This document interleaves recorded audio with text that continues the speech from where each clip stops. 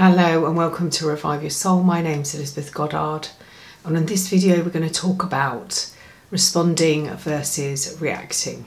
Going to look at what the difference is, how it plays out, where it's coming from, and ideas on responding rather than reacting.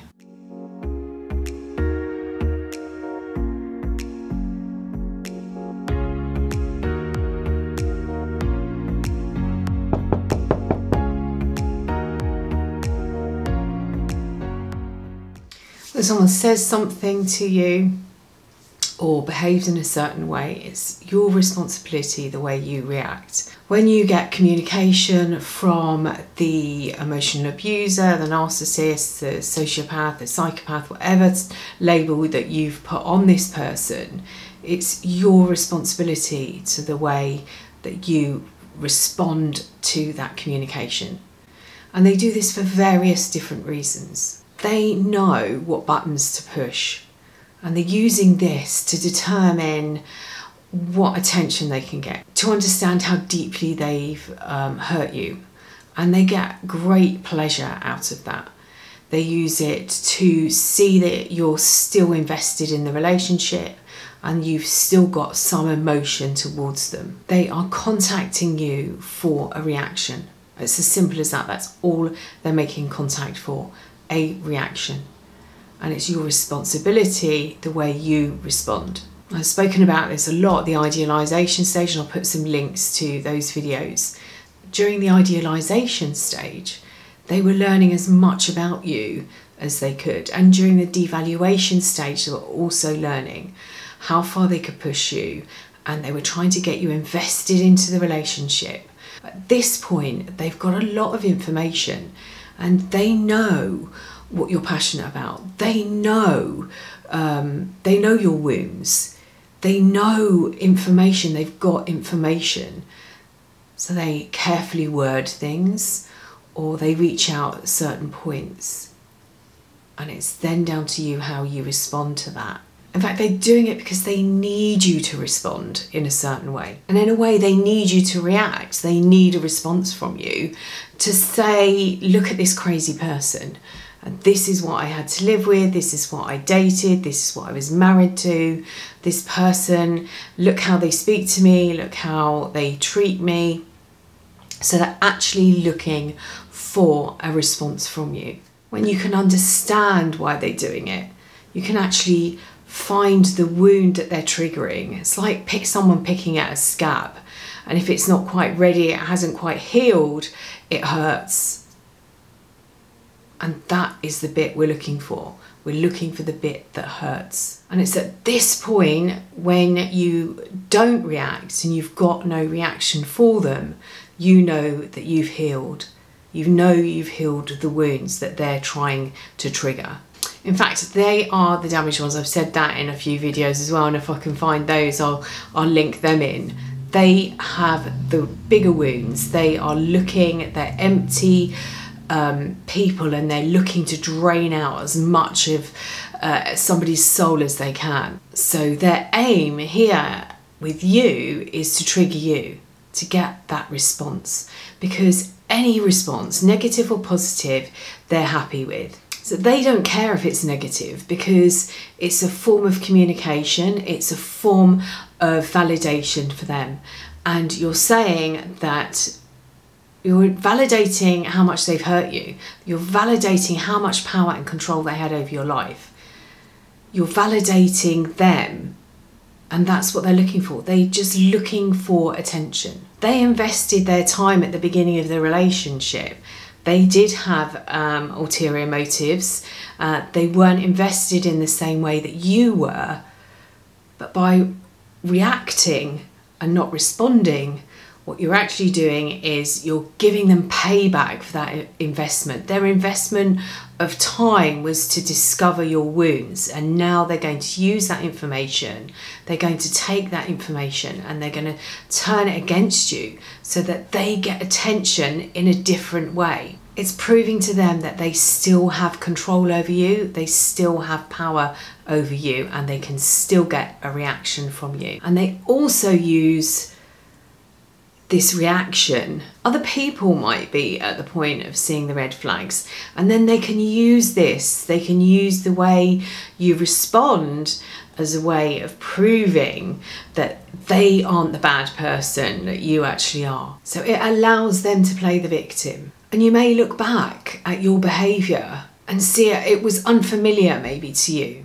You might have done things and said things that are completely unfamiliar to you. You might feel crazy, and that is a reaction. We're all a bunch of chemicals held together in skin. We are like uh, a chemistry lab you know pe- different people make us react in different ways different people bring out different elements of our personalities if you were trauma bonded and subjected to emotional abuse, it's very possible that you felt like you're going crazy, or you still do feel like you're going crazy. Maybe it feels like nothing makes sense. That future that you'd planned together has just been destroyed, and you don't understand, or you're questioning everything, and you're wondering if only and maybe those were big ones. If only and maybe, if only I'd done or said something, if only I hadn't done or said something, maybe if, maybe those questions if I'd handled something or done something differently, and it wouldn't make any difference, you'd still be at this point. Don't give them the fuel to become the victim. This was a game and you didn't have the rules. Or if you started to learn the rules, which is part of the trauma bonding, they were moved, those goalposts were moved, the rules were changed, and it confused you and it confused your mind. And at some point during that um, relationship, part of your brain switches off to protect itself because this behavior causes brain damage. Everything they did during that cycle of abuse was done to control you and gain power. And as soon as they've got everything they need from you, as soon as you fulfilled what they need, whether that's the cover of of being a stable person or being in a stable relationship, whether it's um, a financial thing for them, whether it's uh, an emotional thing, whether they need to feed their ego, whatever it was, once they've taken it from you, you're no use to them and they move on. And perhaps during your childhood you experienced some of this behaviour. So it's it was a way of self-preservation, it was survival mechanisms, survival techniques. Uh, that you felt comfortable or you were easy to com- uh, to fall in to that scenario to fall into that relationship. And i want to talk about the four f's fight and flight the what the two that I learned about the fight and flight years ago were the the scenario was you, you know we we needed this response and it's a trigger response. We don't think about it. We don't judge the distance. So there's a tiger in front of you and you have to decide whether you're going to um, fight it or whether you're going to flee. We don't actually make any calculations, we don't uh, work out how the distance, how big it is, how quickly it's going to get to us. We just, it's a gut, gut feeling, it's a gut reaction, and we make our move, whether we stay and fight or whether we run away, take flight. And there are two others, they are fawning and freeze. Fawning plays out again, it's a protective split second uh, reaction, a stress response. Fawning is behavior and language that is calming down of a situation. It's something again that you intuit. You might feel that something is uh, has been triggered within them and you use your the tone of your voice your words you calmed a situation down and then there's freeze which is is you freeze and play dead and your whole body freezes and you can't move. Your brain is working, but the rest of you isn't. That's a really strong trauma bonding response. Uh, not being able to make that decision whether to run or fight or being in a position to calm down. Your body just goes into that trigger and it freezes. What can we do? So let's take a scenario you've received an email or a text message or some other message, a messenger, um, or WhatsApp message, whatever it is, you've received some form of communication. I've spoken about this technique in my video, Seven Things You Can Do to Outsmart a Narcissist. So I'll post that as a link. So I've used the um, terminology of stop, drop, roll. So in a, um, if you're on fire, they tell you in first aid, so you stop and you drop and you roll around to put the flames out. So stop the communicate looking at the looking at the communication put the phone down and then drop in to the emotion. What is it that's actually being triggered? And roll it around and see where it's coming from. See where this actually comes from because I said they know your wounds they questioned you they found out as much information during the beginning of that relationship as they could and now they're using that information to get a reaction from you. Where is it coming from? What does it associate? The first thought, it might be from childhood or another scenario, and that is what you need to look at and heal. Stop, drop, roll. Stop what you're doing, put the phone down or whatever it is, walk away from it, put it in another room, leave it somewhere drop into the emotion and ask, where is this really coming from? They've got this information, they know about my wounds. What are they triggering? And what do I need to heal? Roll that emotion around, journal it out.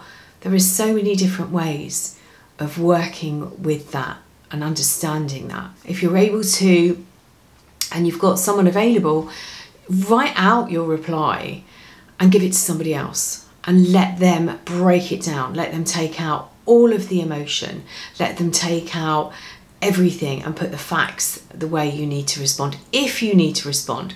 And if you don't, ignore it, delete it. Remember, any way you respond is fuel to them. The fuel is attention, the fuel is knowing that they still have control over you, the fuel is knowing that they can still get to you. The fuel is knowing how how deeply they hurt you. Fuel to them proves how much you still care about them or that you've still got feelings for them, that they still have this power and control over you. What's the difference between reacting and responding? Reacting is coming from an emotion, it's emotion fed. Responding, respond with dignity and with grace. If you haven't done that before, don't beat yourself up it plays out by them making contact. They're looking for attention. They're looking for proof. They're playing the victim. Where's it coming from? Where's your response coming from? Your response is coming from the information they found out about the wounds that you hold. They are pushing buttons, poking you with a stick. They are doing it because they want you. They want to they want attention. They want to know how um, how powerful they were in your life and the fact that you're still coming back and you're still responding to them and what can you do get other people to do that response and look and find out where those those wounds are stop drop roll if you found it useful please like and share the video let's get this out let's get this understanding out there uh, because i think it's going to be much needed in the next few months. I think a lot more masks are going to be dropped. People are going to be understanding what's going on. They're going to, there's no end to the situation we're in at the moment, there's no end date.